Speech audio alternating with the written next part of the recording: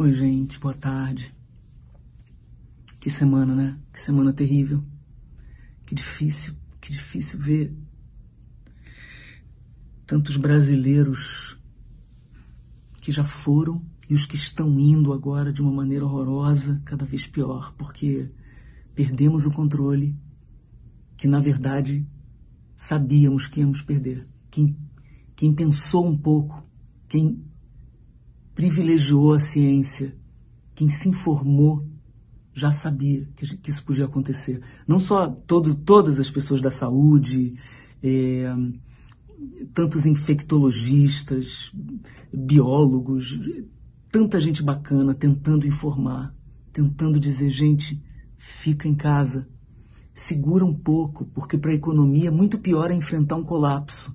O colapso é, é, a, é a paralisação forçada é, por conta de tanta coisa ruim que está acontecendo. É, imaginar as pessoas morrendo como estão morrendo em Manaus, pessoas sem ar. Gente, você não tem ar, não tem oxigênio para respirar. O clima no Brasil já é esse, né? Porque fazem piada, né? O presidente faz piada sobre Covid. É, é assim mesmo, a vida é assim mesmo. Acontece que ninguém planejou. Se tivessem planejado, é óbvio que não estaríamos nessa situação de tantas mortes, tanto desespero. E agora eles estão lá batendo cabeça sem nem ao menos saber como pedir a vacina. Não temos, não sabemos o que temos e o que não temos direito. Não sabemos se eles realmente pediram para a Índia vacina ou se aquilo foi tudo um delírio. A briga política é horrorosa, né, do governo federal com o governo de São Paulo. É, e as pessoas morrendo e isso tudo acontecendo. Então, exijam a vacina. Vão mesmo para as redes, vamos nos organizar mesmo dentro de casa, vamos fazer grupos, vamos pensar como nós vamos agir. A pressão popular é muito importante, mesmo e só o que temos na internet. É isso que a gente tem que fazer. A gente tem o direito à vacina. Eles gastaram direito com, eles gastaram dinheiro aos tubos, nosso dinheiro, com, com um remédio falso que é a cloroquina, que não resolve nada, todo mundo já sabe. Gastaram nosso dinheiro com isso. E, e agora ficam fazendo onda de que a seringa tá cara, isso, aquilo. Tudo tá mais caro porque eles deixaram para pedir em cima da hora tudo. Não se preveniram com nada.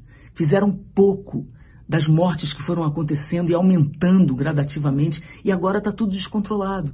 Quem vai pagar essa conta? Quem está pagando essa conta? É o povo, é a população mais pobre, porque a elite brasileira daqui a pouco dá um jeito de comprar essa vacina e a gente que está aqui na luta vai ficar como? Né? A gente que quer ajudar, quem, quem tem menos do que a gente, vai ficar como?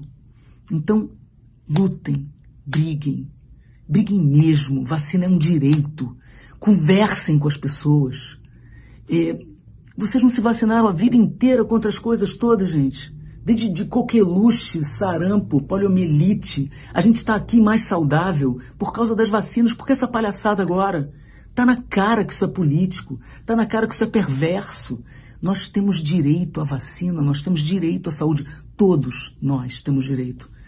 A gente tem que pensar como coletivo. O, a vacina é estratégia coletiva. Não dá para pensar de outro jeito. Vocês estão vendo aí o governo bater cabeça. O que mais a gente precisa passar para lutar contra o que está acontecendo aí? A gente precisa ficar junto e lutar contra o que está acontecendo. Vamos lutar pela vacina e vamos lutar para um outro Brasil. Outro Brasil, que não é esse. O Brasil tem muitos problemas, sempre teve, históricos. Mas esse Brasil que a gente está vivendo hoje não é o nosso. Não é o que a gente já vislumbrou. Esse Brasil é um Brasil sem horizonte, sem futuro. É um Brasil perverso. Esse não é o Brasil que a gente quer, pelo qual a gente quer lutar. Eu quero lutar por um Brasil melhor de outro lugar. Vamos junto. Bom domingo.